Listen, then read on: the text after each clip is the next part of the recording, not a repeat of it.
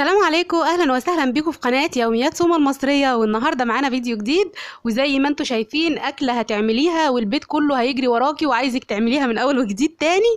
بس بصراحة طعمها تحفة وشكلها خطير زي ما أنتم شايفين. إحنا هنعمل النهارده المصفوفة بس مش هنعملها بالطريقة التركي. إحنا عندنا المصري أم الأجنبي. فإحنا هنعملها النهارده بالطريقة المصري أو بطريقتي أنا.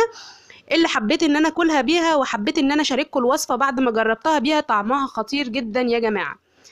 آه طبعا المصفوفة التركي ليها شكل والمصفوفة اللي أنا هعملها النهارده بالمصري هيبقى ليها شكل وريحة ونكهة وطعم مختلف تماما تماما تماما عن التركية. يلا بينا نقول المقادير بتاعتنا عبارة عن إيه؟ معايا كده أول حاجة زي ما أنتم شايفين آه نص كيلو من اللحمة المفرومة ومعايا كمان آه آه وكمان اللحمة لازم يكون فيها نسبة من الدهون وكمان معايا معلقة توم بودرة معلقة بصل بودرة معلقة بابريكا وكمان معلقة بهارات مشكلة ومعلقة فلفل أسمر وملح ومكعب مرق ومعايا طبعا بطاطس شرايح وبتنجان رومي شرايح وفلفل رومي شرايح وبصل شرايح وطماطم برضو شرايح. معايا كمان الصلصة ومعايا التوابل بتاعتها عبارة عن توم. ومعلقة صغيرة فلفل اسمر ومعلقة بهارات مشكلة ومكعب مرق وشوية ملح وطبعا نص شفشق من الطماطم المضروبة في الخلاط.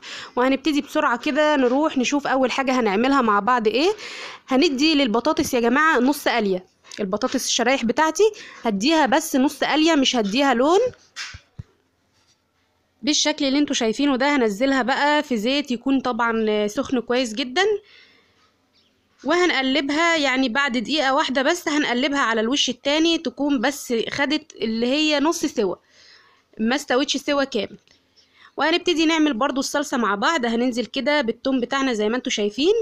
آه طبعا في مادة دهنية زيت أو سمنة اللي تحبيه تكون سخن قوي. بمجرد ما هينزل كده على طول هيلون وهياخد لون. قلبي كويس. وعلى طول هننزل عليها بعصير الطماطم. بالشكل ده.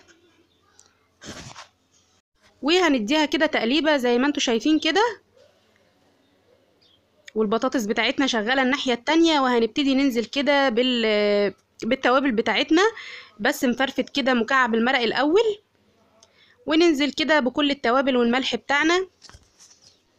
والناحية التانية البطاطس شغالة معانا. أنا بس بديها تقليبة كده علشان قبل ما تاخد لون زي ما قلنا. أنا مش عايزاها تاخد لون أنا عايزاها نص سوا وده شكلها الدور اللي طلع قبليها. شايفين؟ نص سوا وكمان مش واخدة أي لون خالص. وهبتدي أدي للصلصة بتاعتي كده تقليبة علشان ندوب كل البهارات فيها. وهنبتدي بقى نسيبها لغاية لما تتسبك معانا. زي ما أنتوا شايفين ده شكل البطاطس أهو الدور اللي أنا بطلعه. بوريهولكم شايفين شكلها عامل إزاي؟ نص سوا يعني تكون لسه مبيضة شوية. وهننزل على طول بعدها بالبتنجان. بالشكل ده. البتنجان برضو هنسويه يا جماعة نص سوا. آه أنا كان عندي البتنجان المفروض البتنجان بيتقطع شرايح يكون حجمه صغير شوية بس أنا عندي البتنجانة لقيتها حجمها كبير فقسمتها بالنص بحيث إن أنا آخد الطرف اللي هو من فوق المدور بس. وبعدين هنبتدي ندخل بقى على اللحمة علشان آه نعملها مع بعض. طبعا البهارات بتاعتنا كلها إحنا قلناها. هبتدي كده أفرك مكعب المرق أول حاجة وهنزل بكل البهارات بتاعتي من غير أي بقسماط ولا أي حاجة. هي اللحمة ما شاء الله هتبقى كويسة. ولو عندك بقى يعني رشة بقدونس يبقى انت كده عملتي الصح. علشان خاطر أنا البقدونس لقيته خلص عندي فكملت من غير بقدونس. بس عادي يعني حتى لو مش عندك مش مشكلة مش هتفرق. ونبتدي كده نقلب اللحمة كويس جدا بحيث إن البهارات تدخل في كل حتة في اللحمة ملاقيش حتة وحتة آه حتة موجود فيها يعني بهارات وحتة دلعة كده ومش حلوة. هنقلبها كويس ونعجنها بإيدينا. علشان كل البهارات تدخل فيها. وبعد ما هنقلبها كويس هنبتدي كده ناخد حتت صغيرة آه نعملها دواير كده قد عين الج... يعني عارفين أنتوا عين الجمل قد إيه؟ قدها بكده بالظبط ونروح فردينها بالطريقة دي تبقى كده مبططة كده بالشكل ده. وهنحطها كده في طبق علشان تبقى جاهزة معانا على طول. أهو نسوي بس الأطراف ولو حسينا حجمها كبير شوية آه نقللها. الطبق فيه شوية زيت ده الطبق مطرح البطاطس اللي إحنا طلعناها يا جماعة. علشان بس ما نوسخش يعني مواعين كتير. وهندور كده اهو بالشكل ده ونفردها نبططها كده اهوت. هتبقى بالشكل ده. وده هيبقى شكلهم بعد ما خلصنا الكمية كلها. ما شاء الله الله أكبر عملت كمية حلوة قوي نص كيلو. هنبتدي بقى وجبنا كل المحتويات بتاعتنا بقى حوالينا علشان نبدأ نرص. أول حاجة هناخد كده آه، معلقة من الصلصة بتاعتنا آه، أو مغرفة أقصد. في أرضية الحلة وطبعا لسه الصلصة سخنة. في أرضية الصينية بتاعتنا ونفردها كده كويس. طبقة كده مش مش كتير قوي يعني. طبقة خفيفة. وبعدين نبدأ إن إحنا نرص الخضار بتاعنا. أول حاجة هنجيب آه بطاطساية وبتنجانة وبصلاية. أقصد حتة لحمة طماطماية وادي شريحة بصل. وكمان عليهم واحدة من الفلفل. هنشوف الترتيب بتاع بتاعنا اللي إحنا عملناه إيه. ايا يكن آه أي ترتيب هنعمله. وهنبتدي إن إحنا نرص بنفس الترتيب آه الحاجة بتاعتنا كلها. بصلاية طماطماية وعليها واحدة آه حتة من اللحمة. وكمان بطاطساية. كمان قطعة بتنجان. وقرن الفلفل. أهو بالشكل ده أنا نسيته فهحطه. طبعا هنكمل كل المصفوفة هي اتسمت مصفوفة علشان إحنا بنعملها كده آه، صفوف ورا بعضها. هنكمل بقى بنفس الطريقة تاني. نفس الرصة هنرصها من أول وجديد.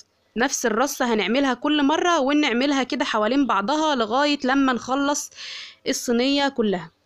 بالشكل ده هتبقى معانا الصينية بالشكل ده. تحفة يا جماعة وشكلها جميل وتحفة يعني.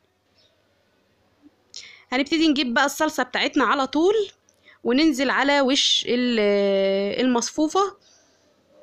المصفوفة المصري هي ما عادتش بقى تركي خلاص. التركي بيحطوها الحاجات كلها نية حتى الطماطم بيضربوها في الخلاط ويحطوها نية. لا إحنا بقى هنعملها بالمصري بالمسبك بتاعنا بالكلام الحلو والحاجات الجميلة. علشان إن شاء الله هتعجبكم لما تجربوها جدا. هنسقسقها كده آه، كل واحد بقى على حسب ما يحب اللي حابب صلصة كتير اللي حاببها تكون ناشفة كل واحد على حسب ما يحب. وهبتدي إن أنا أدخلها الفرن هتقعد في أرضية الفرن حوالي عشر دقايق وبعدين هفتح عليها ال- الشواية تاخد لون. ومش هتاخد وقت كتير لأن معظم الحاجات مستوية نص سوا وهتطلع بقى بالمنظر الجميل جدا ده. طبعا الكفتة طعمها روعة والبطاطس وكل حاجة شاربة من بعضها طعمها تحفة تحفة تحفة. جربوها على ضمانتي هتعجبكم جدا.